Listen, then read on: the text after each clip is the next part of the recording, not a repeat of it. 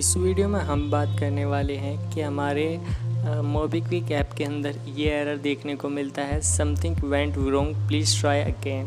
यहाँ पर के वाई सी हम करते हैं, या किसी भी फीचर्स पर इसको खोलते हैं तो यही एरर देखने को मिलता है। तो इस एरर को हम कैसे सोल्व कर सकते हैं, ये हम बात करने वाले हैं। तो वीडियो को आप पूरा ज़रूर देखिएगा। इसके लिए सबसे पहले आपको अपने फ़ोन की सेटिंग्स में जाना होगा। तो फ़ोन की सेटिंग्स में हम चलते हैं। और फ़ोन की सेटिंग्स में जाने के बाद यहाँ पर हमें एडिशनल सेटिंग्स में जाना होगा। एडिशनल सेटिंग्स में जाने के बाद डेट एंड टाइम पर जाना होगा।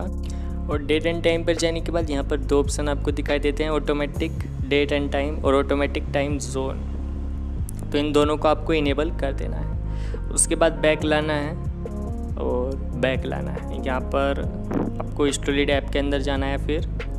इंस्टॉल्ड ऐप के अंदर जाने के बाद यहाँ पर मोबिक्विक ऐप को आपको ढूंढ लेना है। या सर्च कर लेना है। मैं सर्च कर लेता हूँ। तो ये रही इसको खोल लेते हैं। और यहाँ पर सबसे पहले आपको इसकी परमिशन देख लेनी है कि परमिशन चालू है नहीं तो सब परमिशंस को चालू कर लीजिए। उसके बाद यहाँ पर रिस्ट्रिक्ट डेटा यूसेज पर ये जो टिक हैं, इस पर जो है सब पर टिक रहने चाहिए। और यहाँ पर फोर्स स्टॉप मार लीजिए।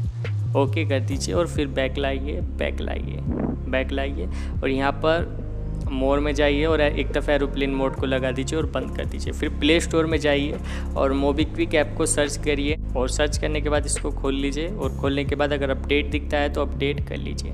अपडेट होने देते हैं और फिर इसको ओपन करते हैं। तो अब देखते हैं कि ये चल रहा है या नहीं चल रहा है। सक्सेसफुली हर जगह पर दिखा रहे। तो अब देख सकते हैं यहाँ पर मोबाइल रिचार्ज पर खोलता हूँ तो ये भी खुल जाता है। मेन मेन्यू खोलता हूँ प्रोफ़ाइल खोलता हूँ तो ये भी खुल जाती है। पहले नहीं खुल रही थी इस, इस प्रॉब्लम में। स्टोर खोल रहा हूँ तो स्टोर भी खुल रहा है। और कुछ भी खोल रहा हूँ तो वो डायरेक्टली खुल रहा है। तो ये सल्यूसन रहता है इसका। अगर यहाँ पर वीडियो अच्छी लगी हो तो लाइक कर दीजिएगा और चैनल को सब्सक्राइब भी कर दीजिएगा। मिलते हैं अगली वीडियो में। तब तक के लिए बाय एंड टेक केयर